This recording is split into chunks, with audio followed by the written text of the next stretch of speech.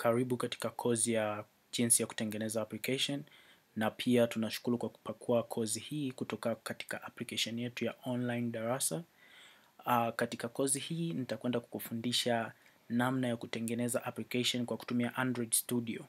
Kitu cha kwanza inatakiwa ujue kuhusu Android Studio, jinsi ya kutengeneza application. Kwa hiyo twende direct kwenye kozi yetu na tuanze, na pia saizi tutaanza na introduction, then katika lecture ijayo nitakwenda kuwafundisha zaidi jinsi ya kutengeneza application. Online darasa, jifunze kutengeneza app. Huu ndio mwanzo wa kozi yetu. Kwa hiyo tutaanza kwanza na introduction. Itatakiwa uelewe nini maana ya mobile, nini maana ya Android Studio, jinsi ya kutengeneza application na mwongozo wote utapatikana hapa.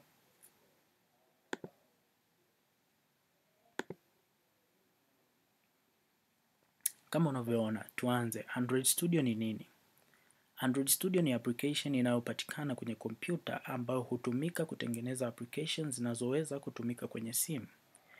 Android Studio naweza nikasema kiurahisi kwamba ni application ambayo inapatikana kwenye kompyuta, unaweza ukaipakua kwenye kompyuta na hii application itakusaidia wewe kutengeneza applications zinazo run kwenye Android. Application yoyote unayoiona kama vile WhatsApp, Facebook, Twitter au phone call, ukitaka kutengeneza application kama zile utatumia Android Studio.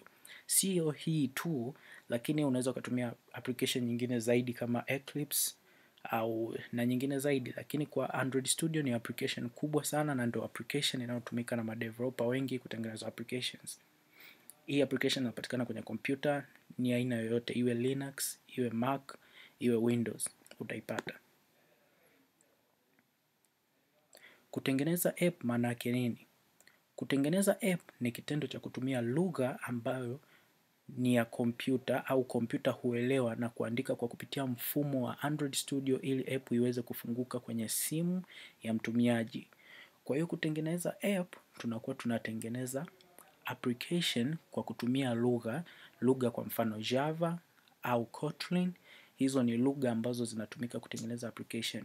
Nikisema lugha namaanisha kama sisi tunavyoongea Kiswahili au mtu anavyoongea Kiingereza. Kwa hiyo pia na kompyuta ina lugha ambayo inaielewa. Kwa hiyo ukitumia lugha ambayo kompyuta inaelewa, unaweza ukatengeneza kitu unachokitaka kwa kupitia kompyuta. Kwa ili kucommunicate wewe na kompyuta itatakiwa utumie lugha ambazo kompyuta inaelewa. Kwa mfano Java. Java inatumika sana na madeveloper wengi wa application. Kwa hiyo ukitumia Java kwenye Android Studio, unaweza ukatengeneza application yoyote na jinsi unavyotaka kwa kuandika kitu unachotaka. Kwa mfano unaweza ukaiambia kompyuta. Tengeneza application inayo send message.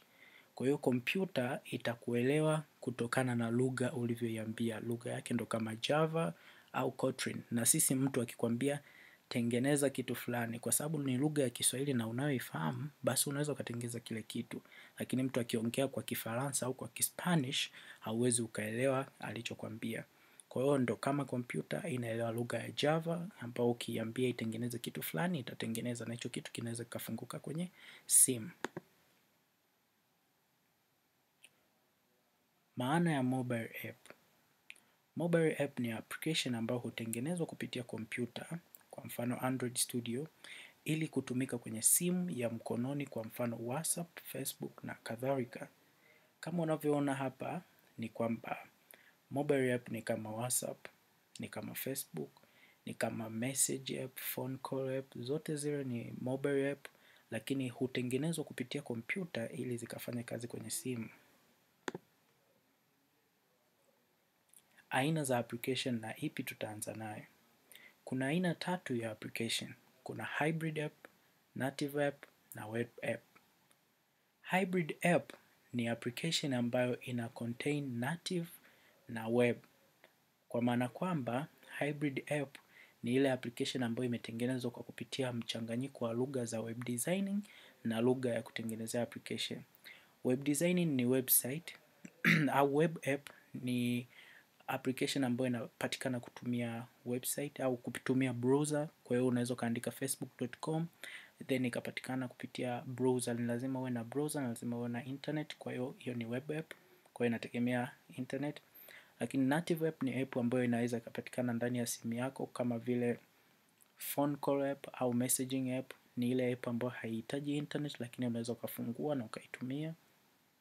Hybrid app ni ile ambayo imechanganyikana native na web.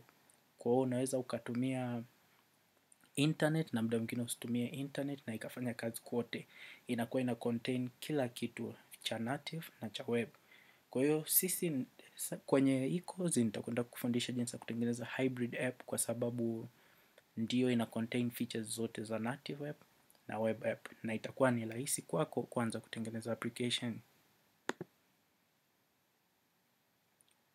Umuhimu wa app, faida tatu za mobile app.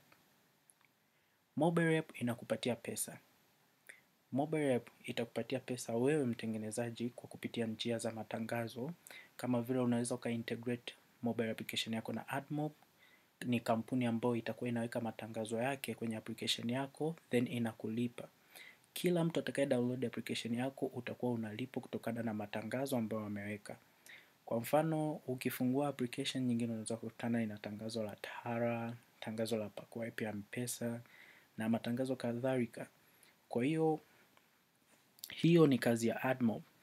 Uki-integrate AdMob kwenye application yako, unaweza ukalipwa pesa na nitakwenda kuelezea namna ya ku-integrate na namna ya kutengeneza application yako.